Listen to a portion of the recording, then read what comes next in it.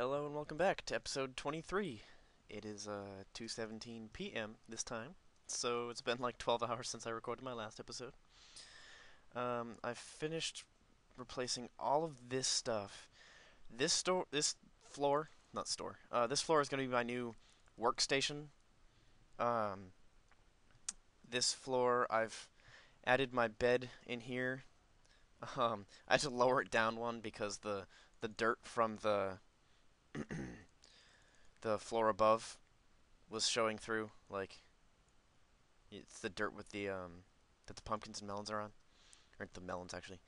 So yeah, um, I was going to move these up there, and then I decided against it for now until I get until I figure out how I'm going to actually plan the stuff up there. So um, yeah. Uh, let's see changes that I've made. I I don't remember this. This farm works great, by the way. I've got tons of melons. Um, I mean, I don't need that many melons. I don't know why anybody would, but I've set up the same door that I did last time. Um, except it's it's much cleaner, and uh, it, much cleaner. Like I'm amazed at how much simpler this one was than the last one. I just put the um, T flip flop right here, right behind the button, um, and then it just pulls the signal out here and goes up to these pistons, and then this one goes down and around to the other pistons on the other side. And uh, there's a button outside that just leads around and comes right back into the T flip flop. So yeah. So outside there's a button right here. Um, and I've started digging out my area for my wheat farm. The way I'm going to have it is there's going to be pistons down there, sticky pistons, and they are going to um, there's going to be water in this hole right here and all of this area will be tilled soil and that way actually I might have to move this forward one or widen the path. I could do that too. Um, because I might do that and just like line this with glowstone so that the the light reaches all the way across because I I don't remember exactly how long the water will hydrate the the ground for. So I might have to actually I might just be able to put like half slabs on top of this and then put water underneath it so that it reaches all the way across and I could make it much longer. Actually I could make it like seven blocks wide. Um, and then I could just flip a switch and all of the all of the wheat stuff would get pushed oh, but then I wouldn't be able to collect it very easily. Unless I make a trough right here. Oh I might even just do that.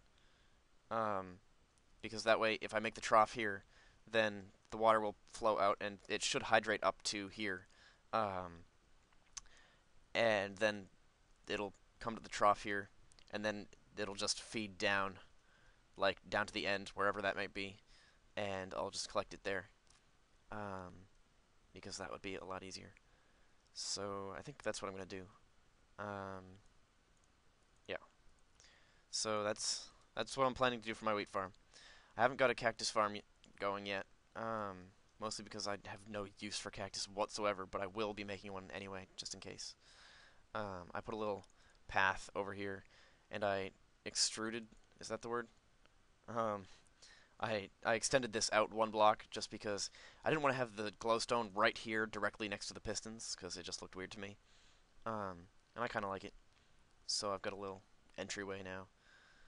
Um, I'm debating what I should do up there. Like if I should replace that with glowstone, like the whole thing. I don't know if that would look good or not. Um, yeah, I modeled that door over for the wheat farm after this one, so it goes in three blocks, so I can do it like this. Um, because the other one I have a, a wall nearby that I can use to put the buttons on, but with the wheat farm one, that one I don't. Like here, I could just put the button here instead of having to put it like near the doorway. I just stuck it over here. But inside I don't have that luxury. So I mean, I suppose I could just move this it yeah, no. No, I don't. Um either way, this this wall has to be this long. I can't I wanted to make it just the 3, but with trying to put a button nearby, I have to make it longer. Or cuz like I can't put it here because then whatever wire I put behind it will be will be connected to one of the pistons at least. Um, so I have to move it over one. And if I move it over one, then I have to have a, a block here. so that um, to cover up the redstone. Because if I didn't have a block here, then you'd just be able to see the wire right there. Unless I just like removed this block, but not this one, but it would still look weird. So yeah.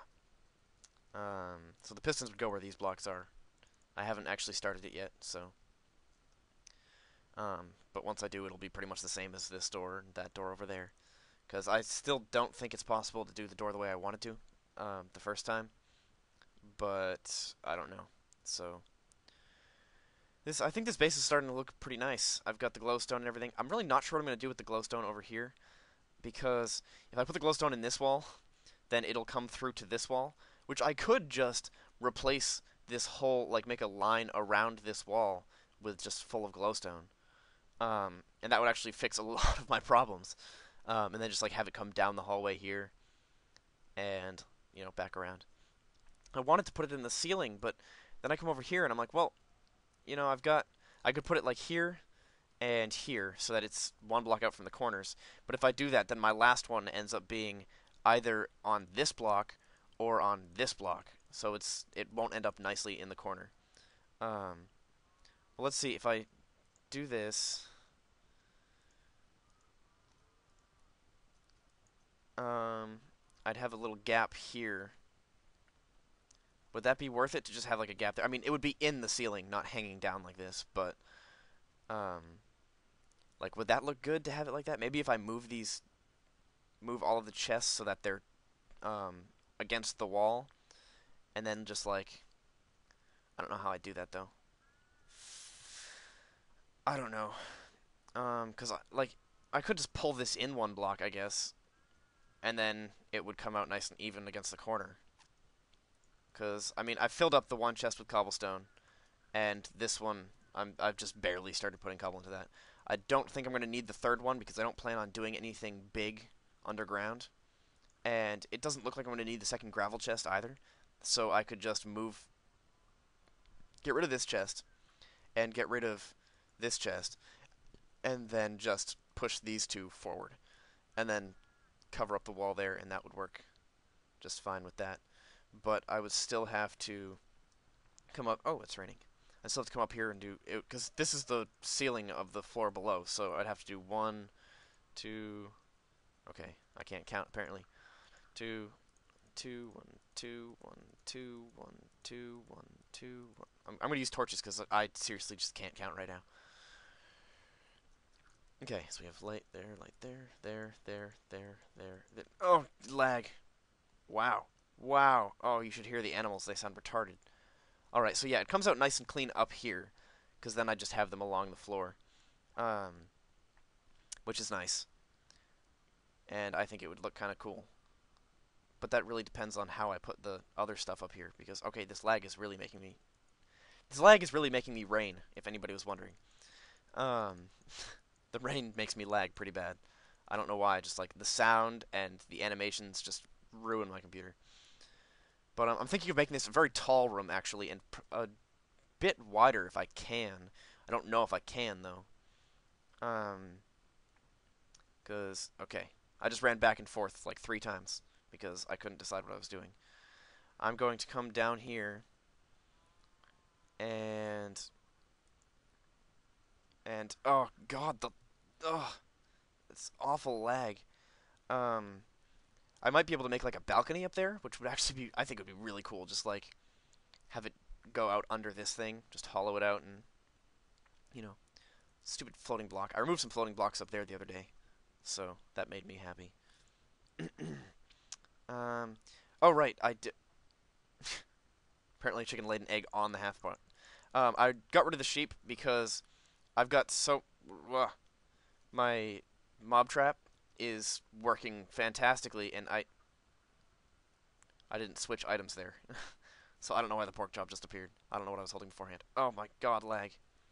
This is terrible. This is seriously terrible. Um the um yeah, I've got so much string coming from that thing that I've got tons of wool. I don't need the sheep for it. I get way more from the spiders than I do from the sheep. So I got rid of the shape and moved everything over a bit because I wanted a light. Oops, I stepped on that. Um, I wanted a light here, but that was the side of a of a pen, and I was like, that's not gonna work. Um, I ended up putting one here. I don't like how this looks, but I I needed a light there because this area looked really dark, especially because I don't have a light here because of the mushroom farm, which doesn't which doesn't work for crap. Like it's awful. Every once in a while I come up and there's one mushroom. I mean, I found three the other day, but was, that was a rare occurrence. Anyway, I'm way over, and I leveled up to 30 so I can enchant the next diamond thing that I make, just so, you know, I have a really powerful enchantment, hopefully. And, okay, I gotta go. So, thanks for watching, and I'll see you next time.